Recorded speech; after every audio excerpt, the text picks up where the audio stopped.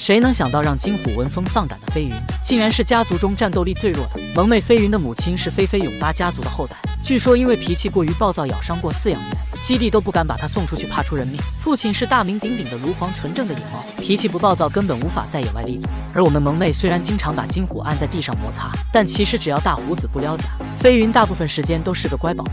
相较之下，飞云的哥哥银科可就不同了。银科有着萌妹同款的仓鼠脸、微笑唇，虽然三岁的他看起来还奶夫妇的，但这小子却是只不折不扣的暴力熊熊。有次银科放在架子上的小苹果不见了，他就开始大发脾气。只见这小子先把上面的玩具全都扔了下去，之后越想越气的他又直接冲下去，对着地上的玩具就是一顿暴力输出。这拆家的本领丝毫不比二哈差，一顿乱七八糟的熊拳下来才算是消气。只因看不惯院里的小树，就要给人家做心肺复苏，拦都拦不住。荡过来的竹筐不小心打到银科，气得他对着人家就开始施展连环拳。可以说这小子的暴脾气要是上来，就连路过的狗都得被他胖揍一顿。并且银科还经常半夜不睡觉，在屋里不是掀桌子就是拆椅子，甚至还直接爬上桌子蹦迪。每次第二天早上，奶爸奶妈看到凌乱的战场，就会把银科昨晚拆家的监控调出来，然后全动物园进行批评，告诫其他小动物千万不要学这小子。而飞云还有一位同父异母的妹妹喜乐，又称八里台最不好惹的二姑奶奶。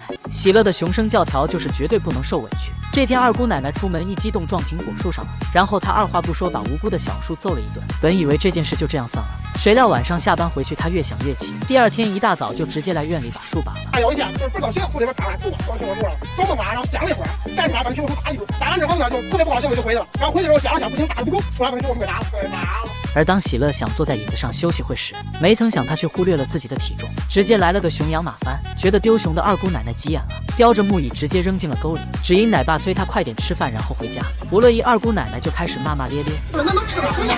然后一边嘟嘟囔囔一边，然后当时那个我也是没抽我，我喊了一句，我说对骂我，他回头冲我乐了一下。